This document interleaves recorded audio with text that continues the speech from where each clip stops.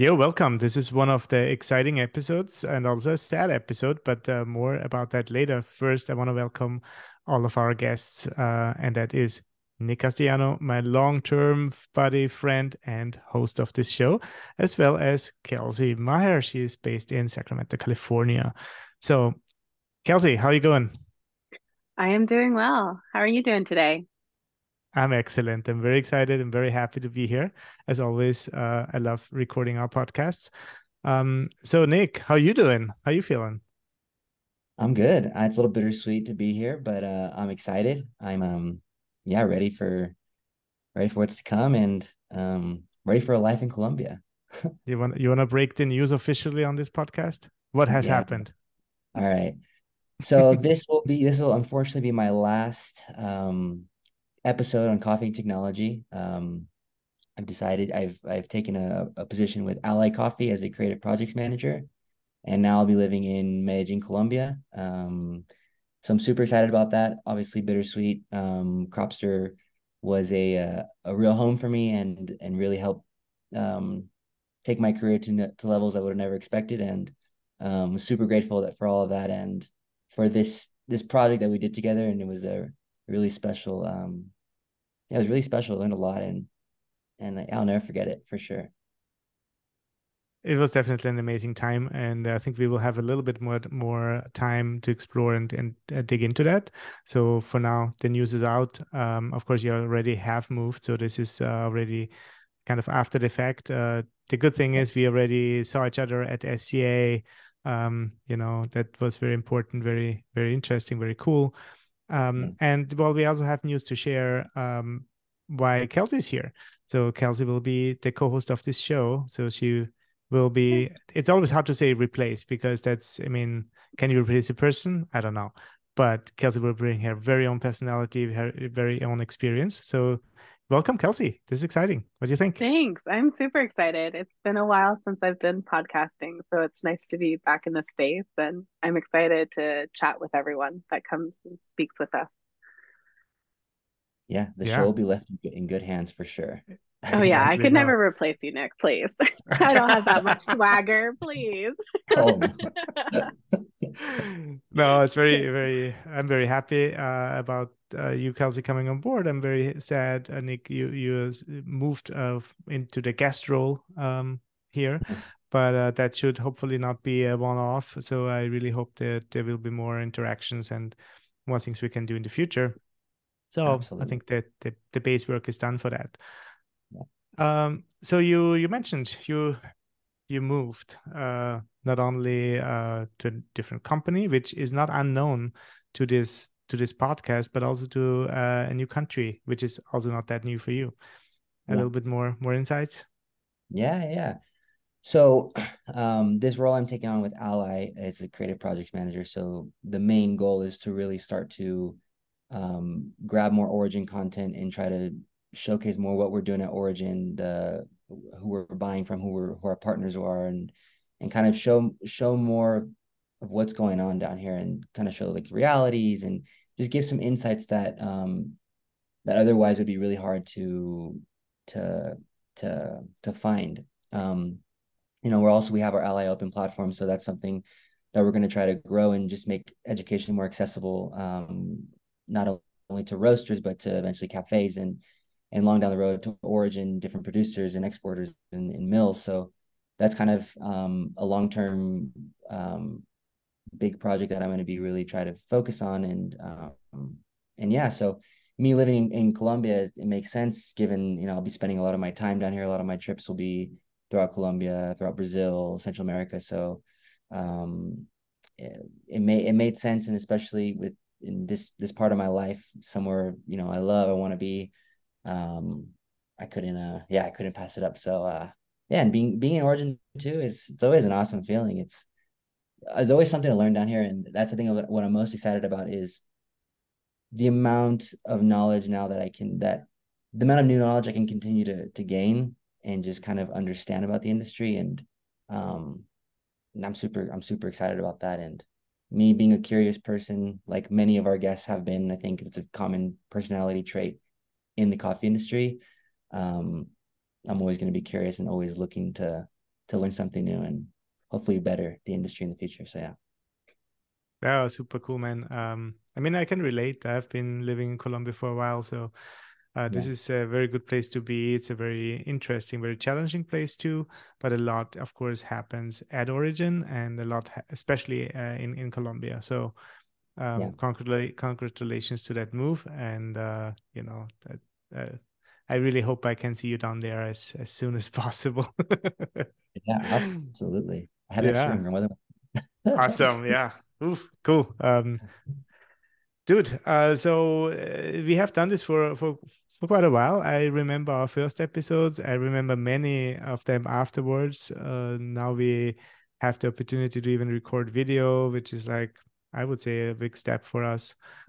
Um, yeah. What what do you what do you take from all those years and all those all those months and all those hours and hours and hours of recording? oh man, it's, it's crazy because when I think about the first episode, I remember I was so, and I'm I still get nervous. I was so nervous just to even like record, even though it was not even live. Like, just like the fact that like, oh my gosh, I'm gonna put my voice out there and putting myself out there. It's it, it doesn't show. Step. It doesn't show. You're good.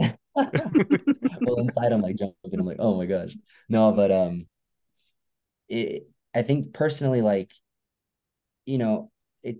I stepped out of my comfort zone and now um and a lot of personal growth understanding like who i am how i am as a public like who who is nick in the in a public uh, space and not just in a private space.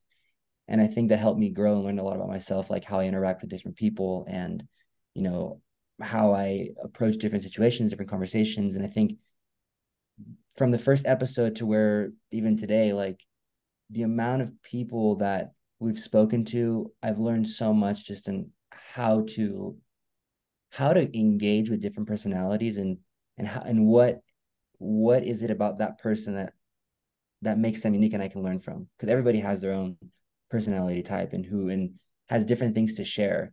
But I learned it's a matter of like how do I get how do I interact with that person to get them to share what everybody wants to know, right? Um, or get them to share more about their personality or who they are as a coffee professional. And I think that's what I would have taken.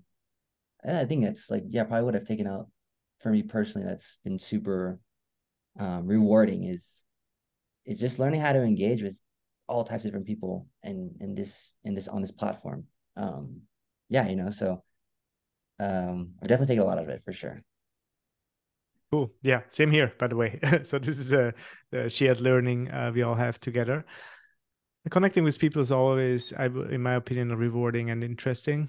Um, so from those connections, from those recordings, do you remember any specific, I don't know, situation, any any episodes you you would like to mention here? Um, where felt like especially proud or especially impactful, or I don't know. I mean, honestly, to this day, my favorite episode still is um, the one we did with Daniel, Daniel Mendoza on the power mm-hmm. dynamics and coffee. Um, you know, me and Daniel, like, we disagree on like probably almost everything all the time. and and it's it's good because we always come we always have like super fascinating conversations and and I always learn I always learn something from him, even if I agree with it or not. But I think that episode specifically was really um insightful and interesting to me because while he has his he has his own personality and his own opinion, I think he doesn't shy away from from just kind of telling his experience. And and that topic has always been something of interest to me even outside of coffee you know studying politics in university and, and economics. Like that is something that i think is so fundamentally um, avoided and and understood in coffee. And i think that conversation um, was really important. You know, I've, I've I even heard it from guests at, afterwards that were like, yeah, that that that was one of the episodes that really was that really made me think again and made me I really enjoyed listening to. Um, so that was another, you know, that that showed me that like, yeah, that would not only for me was my favorite one, but a lot of people really enjoyed listening to that and then also too like the uh, of the other episodes all the women we had from Andrea Allen Shelby Williamson um, or um, sorry Shelby um, Shelby from Huckleberry um, and Vera uh, I think they brought so much like they were just I don't know what the, another word is, but they were raw. Like they just gave their honest opinion. They said it how it is, and and I appreciated that, you know, and and I appreciated that they they spoke up on certain things that they were passionate about that other otherwise other people wouldn't wouldn't wouldn't speak on.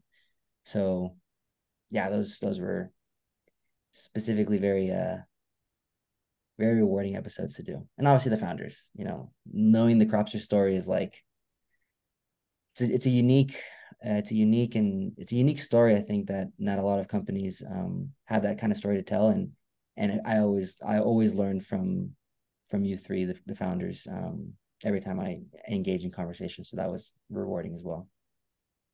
Very cool. Yeah.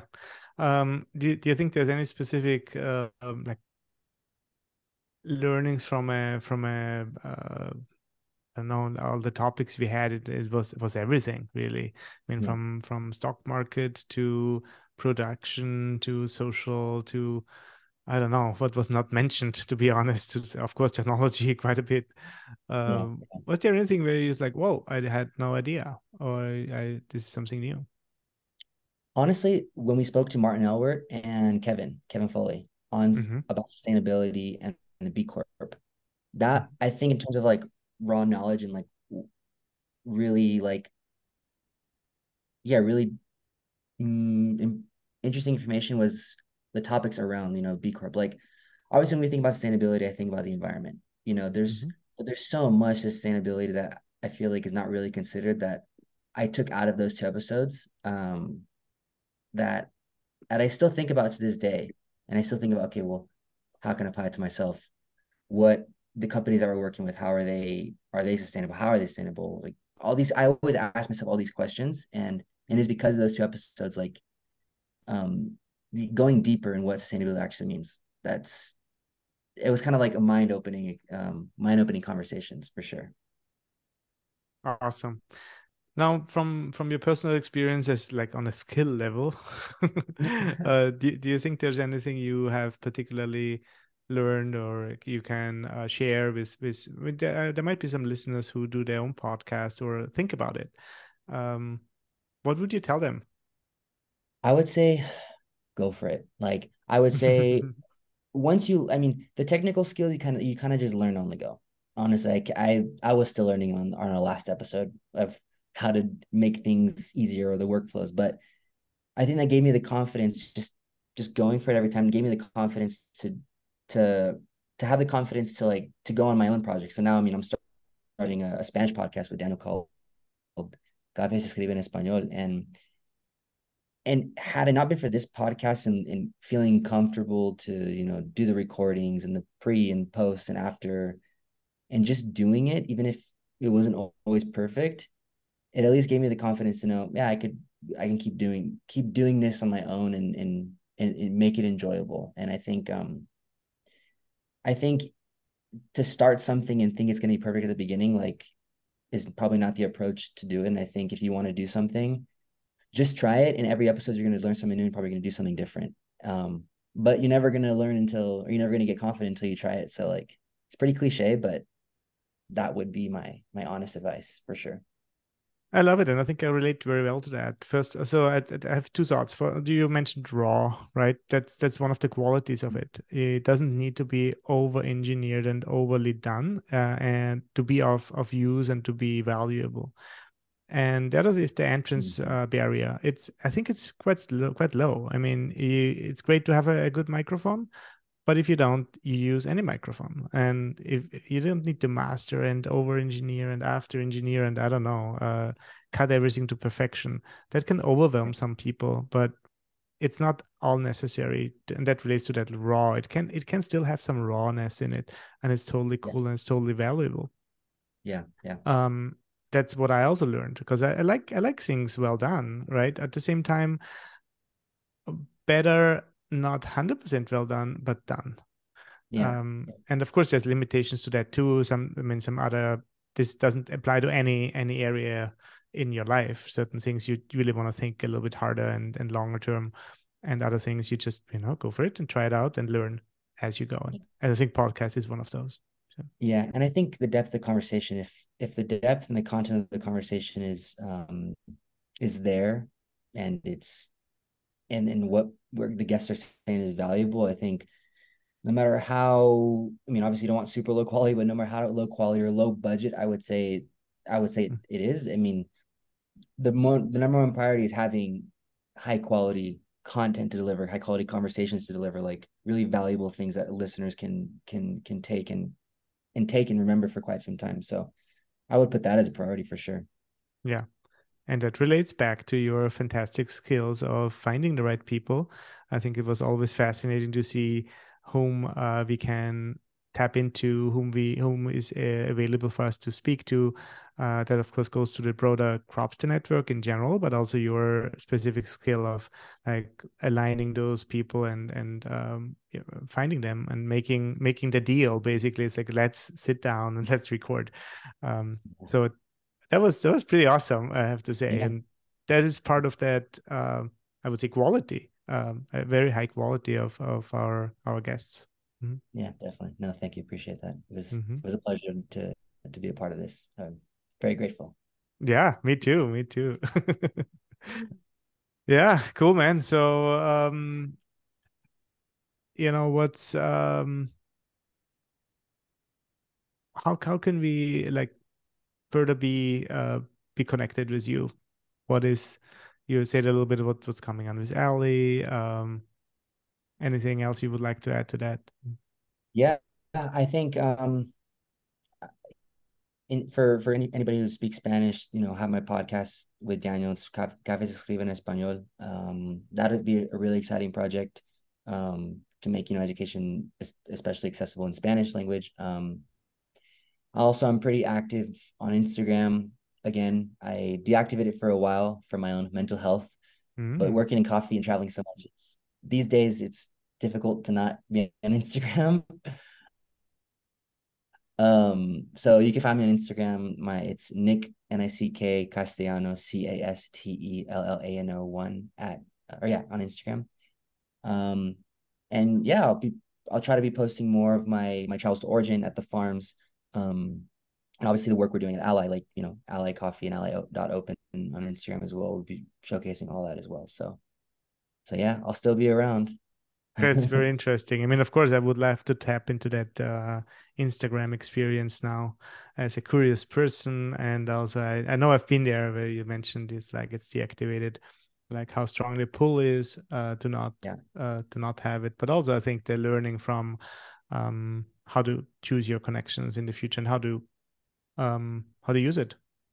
Yeah. Um, do, you, do you think you you have a little bit more distance to that medium now, or are you using it differently? I, I am definitely using it differently. Distance, um, it's easier now to say when no one to stop scrolling. Um, for example, like if I'm if I'm just scrolling, I mean, I think what I learned out about the, like having that deactivation is just taking it with a grain of salt. Um, for my own my own like kind of mental health. I think there's there's certain things um that I've learned that people like to see and certain things that just I don't need to put out there. Um and having that reflection helped me with that. So I'm still kind of learning as I go though. Like how does this benefit me? How does it not? And how does it benefit others? Right. Mm-hmm, um mm-hmm. so it's always a learning it's always learning in progress for sure. Yeah.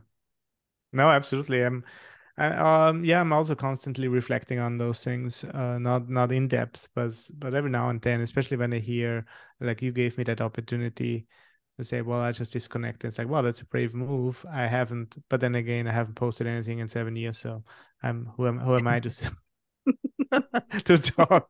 um, uh, but it's it's sometimes practical. Right? If someone says, "Hey, you know, there's something interesting there, I want to share," and just click and have access. Yeah.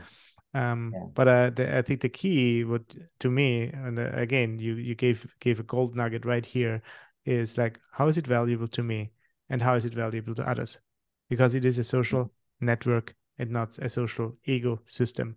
So it's a you know it, it's always about more than just just one, and and I love that because it's it's like what I do uh, might have an effect or a, um, impact on someone else and if if everybody would think that way some of the really toxic content might not exist because it yeah. is obviously not good for some people. Um, and then of course there will be still enough you can discuss and it's like edgy and is is like keeps the discussion going and that relates back to that what you said with Daniel. You have I think you're you have a very beautiful relationship uh, with with with Daniel and and now you do do the podcast together. So it's not that there's a uh, any hate relationship or anything there. It's it is it's a constructive, like well we have different opinions, but also that allows for a very interesting conversation and for an exploration of what could come out of this. Right? If we all agree on something, then let's agree and have a toast and enjoy yeah, yeah. enjoy the rest of the day right but if you not agree then things become interesting in my opinion yeah, um and actually it reminds me of something it's on this piece of sharing um i'm also in, very engaged in linkedin so if people want to reach out mm-hmm. on linkedin um and i said it because i've had in the past people kind of reach out and just wanting to hear about my experience you know i'm not i'm no coffee expert i'm just gonna i have nick's experience right but but people I think are are genuinely interested because I think people want to know how to how they can further their career in coffee, and that's something I'm always willing to share. Um, so yeah, LinkedIn is all, another place you can reach me, and I'm, I love connecting people. So like, and I love sharing because I hope people can also find success in coffee as well. So, so yeah. Yeah, and from personal experience, I can say hang out with Nick is always a treat. So I, I would always recommend that if you're in the area or something, do, do yourself a favor and look Nick up. We'll have a good. I second that. yeah. well, with that said, I mean, I, I again, I absolutely appreciate what you have brought to the table, what you have brought to the air, um, and I, I will for sure stay in touch. This has been a, a wonderful ride. Yeah. All the best for what's coming, and I'm very curious to be be connected to that to that next uh, next episode, next step. Mm-hmm. Absolutely. Thank you so very much for everything, Norbert, and thank you, Cropster. It was a pleasure. It was exciting. of course. And Kelsey, we will soon record um, some new episodes, so uh, everybody stay tuned for that. Um, and then you will have hear Kelsey's voice uh, um, more than today, of course, because she has. I know her a little bit. She has a lot to say, and she has a lot to bring to the table. So it will be very cool. I'm looking forward to it. I'm looking forward yeah. to it.